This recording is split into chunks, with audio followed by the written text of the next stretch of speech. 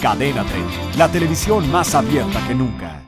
Ahora es tiempo de presentarle las primeras planas de los periódicos más importantes de circulación nacional en nuestro país. Comenzamos con el diario Excelsior, el periódico de la vida nacional, que en su nota de 8 dice, empresarios piden mano en energía, 50 mil millones de dólares están en juego, afirman los empresarios, demandan mayor participación de la industria nacional para proveer insumos del sector. En la fotografía de portada vemos que esta mañana el diario Excelsior nos muestra un aspecto de la conmemoración del Día de la Marina, al cual precisamente acudió el presidente. En Tampico, el presidente Enrique Peña Nieto destacó la labor de la Armada de México para la seguridad del país. Esto en el 97 aniversario de la nacionalización de la Marina Mercante y en el 72 aniversario del Día de la Marina. El mandatario anunció además 58 mil millones de pesos para el desarrollo portuario de, este, de esta flota. Vamos a pasar a lo que esta mañana dice el diario El Universal Universal, el gran diario de México.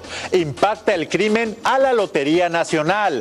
Plagios y derecho de piso afectan a esta institución. Expansión de casinos y alza de impuestos merman los ingresos de la población. En una estadística que presenta esta mañana el diario El Universal, nos habla de cómo se está repartiendo el dinero que va, que va dirigido, según el bolsillo del mexicano, a la inversión en los juegos de apuesta. El 74% están destinados a los juegos en línea, mientras que el 11% a los pronósticos deportivos y el 80% a la Lotería Nacional, el 6% a los casinos y así se reparte el pastel de la apuesta en nuestro país.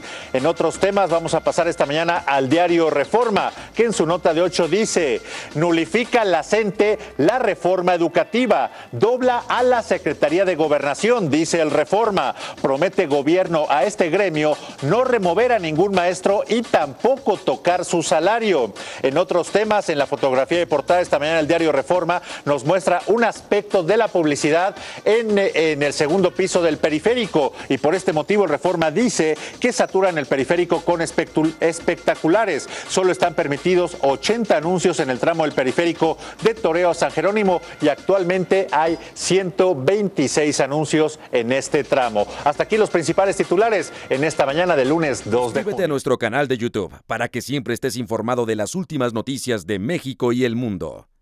Empieza ahora mismo dándole clic a estos videos.